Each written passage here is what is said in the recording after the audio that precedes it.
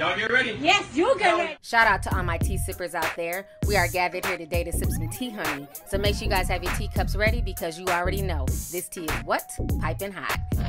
Hey you guys, so a lot of you guys wanted me to talk about the whole Robyn Crawford and Whitney Houston situation. So if you guys don't know, Robyn Crawford just dropped her book and basically social media is going crazy. The book is called A Song for You, My Life with Whitney. And in that book, she's basically admitting to being Whitney Houston's lesbian lover. Now this rumor has been around for decades, okay? And I remember being in LA and people telling me that Whitney Houston was definitely gay and that Robyn was her girlfriend at one point in time. Now, if you guys do not know, I'm not surprised that Robyn wrote this book because she's been talking about wanting to write a book since about 2013. And that was after Cissy, Whitney Houston's mother, wrote her book. And basically, the National Enquirer was reporting that Cissy was throwing a lot of shots at Robyn. And that's what made Robyn want to come out and tell her side of the story. I'm going to go ahead and read to you guys this old article. Go ahead and check this out. So, the National Enquirer reports Cissy caught herself up in a shocking web of lies, a close sources revealed. She claimed that she didn't care whether Robyn was gay, but she hated Robyn for the rumors that she and Whitney were lovers. She was worried that the story would destroy her daughter's career. The source notes that Cissy was so concerned about Whitney's relationship with Robyn, she did everything in her power to stop it, and even pushed Whitney to pursue a romance with hip hop bad boy Bobby Brown to get away from Robyn. In his 1998 book, Good Girl, Bad Girl, Co-author Kevin Ammons, who dated Whitney Houston's former publicist Regina Brown, quotes Cissy as saying, it wasn't natural for two women to be so close. He goes on to allege that Cissy exploded at Robyn for fighting with Whitney, who had just received a gift of 400 roses from Bobby Brown. The story does not appear in Cissy's book, Whitney and Robyn drifted apart after the superstar singer married Bobby Brown in 1992, and throughout the years, both women denied that they had a lesbian relationship. Meanwhile, Robyn is said to have been livid over the book and concerned about her reputation. Robyn doesn't want Cissy to have the final say, the source explained. Now she may even write her own book to set history straight. So now in 2019, the book is out and she's also doing an interview. And so she sat down with Dateline and she spoke about her relationship with Whitney Houston. I'm going to go ahead and play you guys that clip. Go ahead and check this out and I'm to come back with the rest of my commentary. Robyn Crawford was by Whitney's side from the beginning, a trusted companion during her epic rise and heartbreaking fall. They were best friends, roommates as well. And rumors swirled for decades about whether they were also secretly lovers. Well, now, Robyn Crawford is finally answering everything in a new memoir. I watched her rise to the top of her game, and I felt compelled to share who that woman was behind all the fame. Robyn Crawford was by Whitney's side every step of the way as rumors about them swirled. Everyone knows the, the tragic story of Whitney Houston the superstar. But this is the story that no one else knows except you. Why share that story now? I never envisioned speaking publicly about my life. And then I asked myself the question what would Whitney want? Would she understand, you know, the time is now? For the very first time, Crawford is now opening up publicly about their relationship in her new book, A Song for You.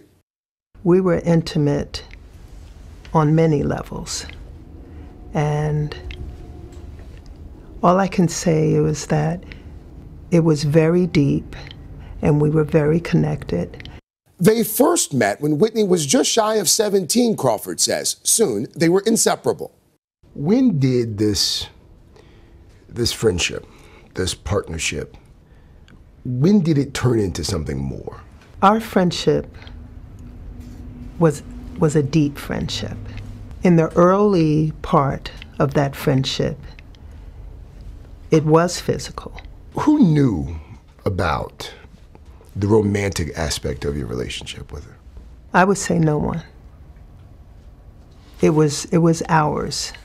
Crawford says their physical intimacy stopped before Houston became a star. She said, "I don't believe we should be physical anymore."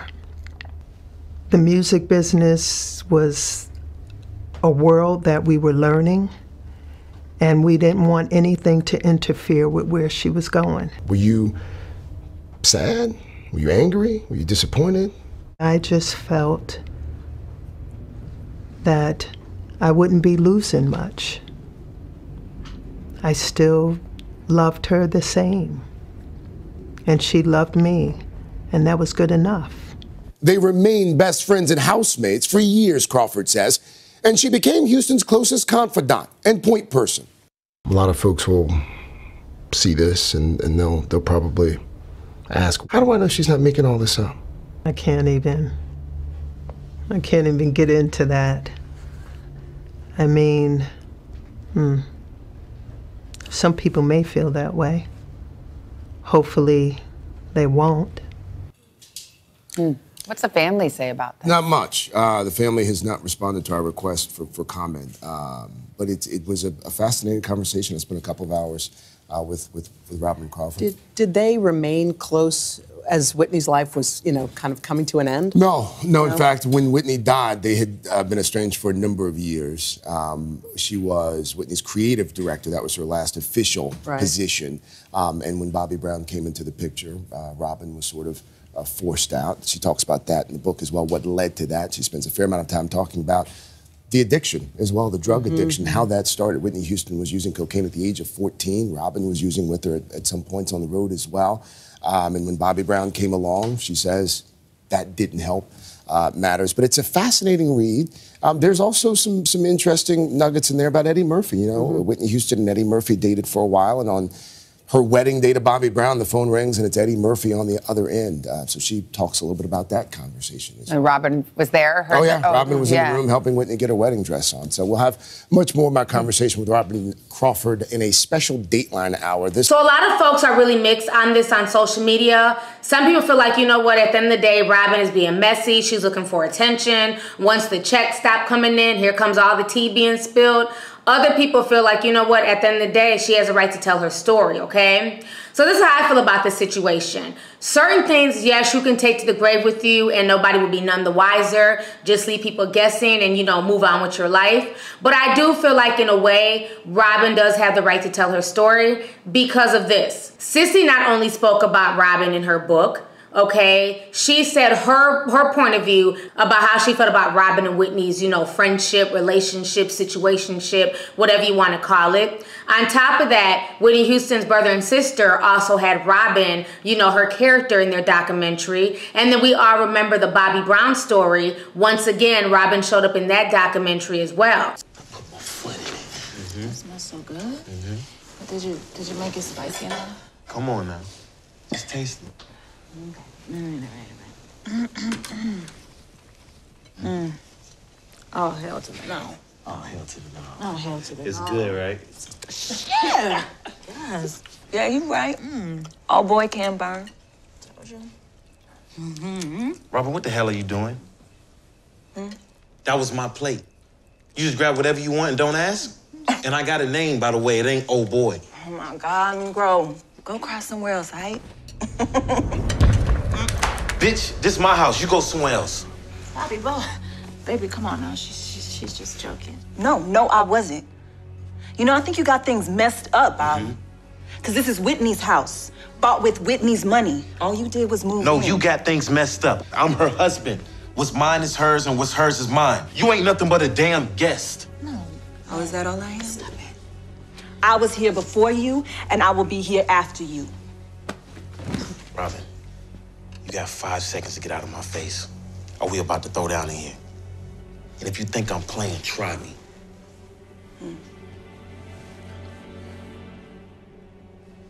You just gonna let him talk to me like that?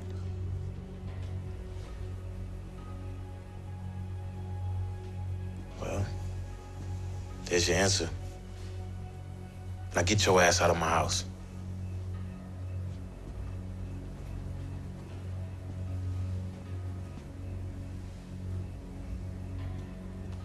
So Robyn's story has been in all types of documentaries and books by other people close to the Houstons. So why can the person who's actually involved in the situation not tell her story? It seems like everybody else had no problem spilling their tea and insinuating certain things about Robyn and Whitney's relationship. So then why should she be penalized or why are people giving her the side eye for basically saying, you know what, now I'm going to tell my story because everybody else seems to have told it and they told it wrong. You know, so this entire situation is crazy. Do I feel like this is gonna ruin Whitney Houston's legacy? Not at all. Whitney Houston is still one of the greatest voices to ever sing. So I don't think that's gonna tarnish her legacy whatsoever. But I understand why they kept it a secret. It was a different time and place back then. People were not into the whole gay thing, lesbian culture. You know, people had to, especially in Hollywood, you had to put on a persona. And that persona was straight and that's it. You know, 2019 is a whole different can of worms, okay? Things are more open, things are more accepting nowadays, but back then it was not like that. So I definitely understand that. And I can definitely see the fact that, you know, they were close,